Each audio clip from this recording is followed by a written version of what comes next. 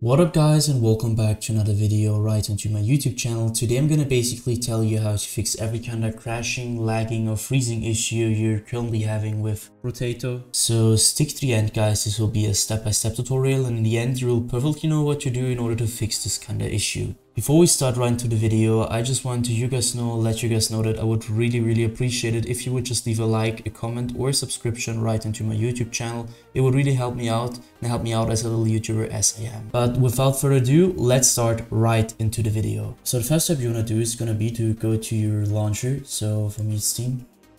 You're going to drag it into the middle of your desktop. You're going to take it, right click it. And afterwards, you're going to click run as an administrator. This will cause your launcher to pop up and store it and I want you to launch your game in the launcher and probably this will fix your issue.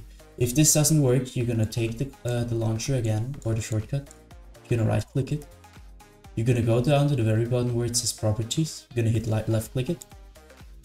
So this tab pops up and what I want you to do next is gonna be to navigate right onto com compatibility, so click that.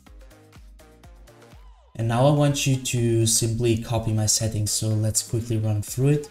The first thing you want to do is going to be to go to compatibility mode and you're going to enable run this program in compatibility mode 4 and you're going to select the latest Windows version you have to. You're going to disable reduce color mode, disable run in 640 by 480 screen resolution, disable full screen optimizations, and enable run this program as an administrator, obviously disable register the program for restart and afterwards you're to hit apply and okay.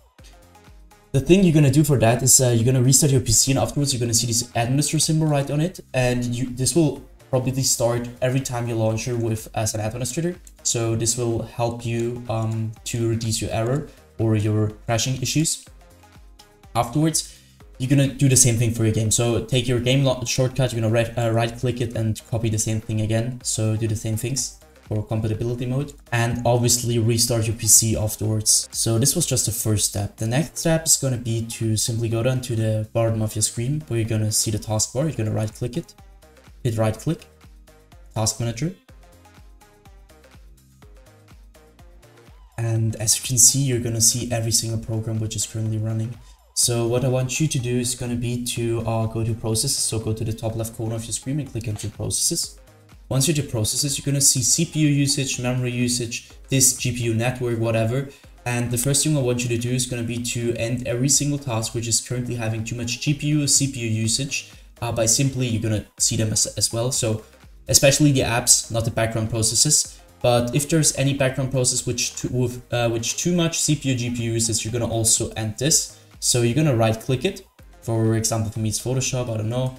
Right click it, go down to end task and this will end your task.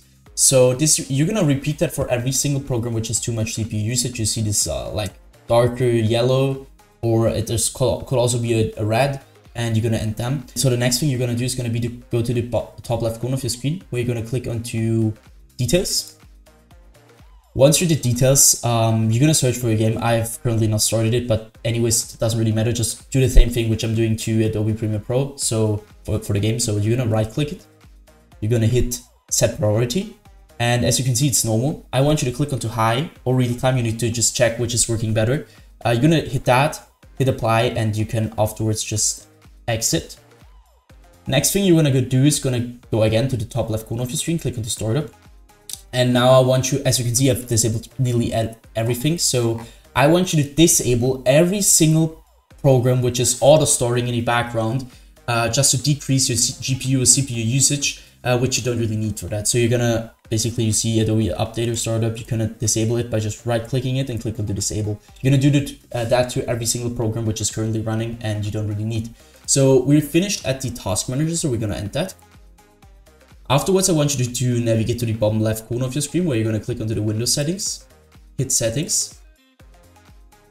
And then I want you to click right onto system uh, where I want you to basically um, just identify your main monitor. Afterwards, you go down, you're going to change the scale and layer to 100% as recommended. The display resolution should be the same as in-game just to decrease your crashing issue. And afterwards, I want you to click onto power and sleep, uh, go to additional power settings, And now you need to basically um, try which is working better for you. For me, it's balance, but sometimes it's high performance. So you're gonna click on the high performance or the balance and just try which is currently working better with your program.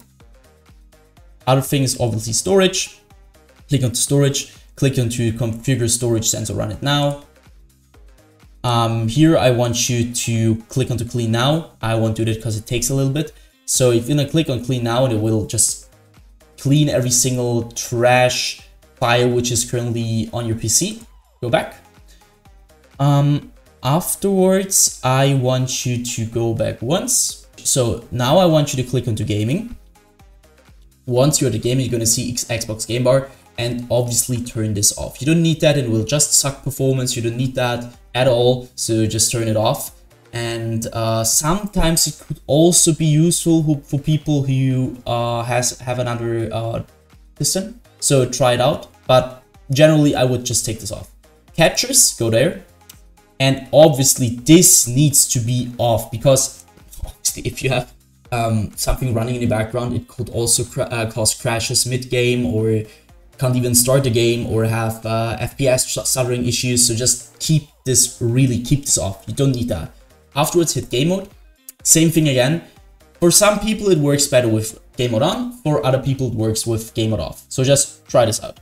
Now I want you to go back to your main settings and click onto Update and Security. Well, I want you to stick around Windows Update. And here I want you, as you can see, it's last check today, and I have the latest version of Windows, but I really, really want to recommend you that you need to check your Windows for updates. Because this will increase your power of your system and this will help you a lot with uh, like every single issue you're currently having. So I want you to check for your updates, update to your latest Windows version, and yeah, that should be it.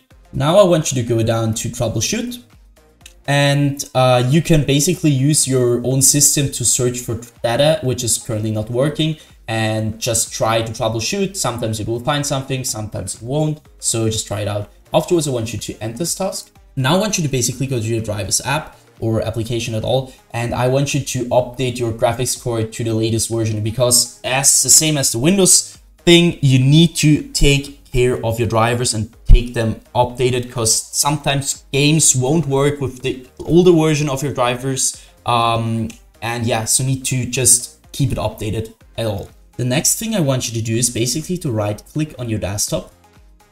And if you have NVIDIA, you need to click on NVIDIA control panel. If you have another graphics card, you need to click on something else, so click on that. It will take quite a while.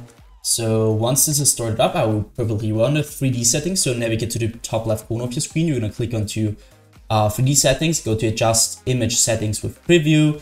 And as you can see, um, there is a bar which says quality to performance. And so for me, it's working well with quality because my PC is working well. But if yours isn't and you have problems with crashing or something like that, I want you to take this bar and take it right back to performance because this will just help you a lot with crashing issues.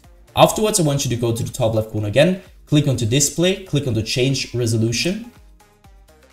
And now it's the same thing again. So I want you to basically uh, try out different resolutions and you need to check that your monitor's resolution is the same as the in-game resolution. Because if there is anything running wrong, it will probably ca uh, cause crashing. So just check for that. So once you're finished with that, I would personally just recommend every time at all, just restart your PC, check for updates when you're just restarting it. You can see there isn't, there isn't anything. So restart your PC. And once you finish, just start your game over the launcher once and start your game just over the shortcut twice and try it out.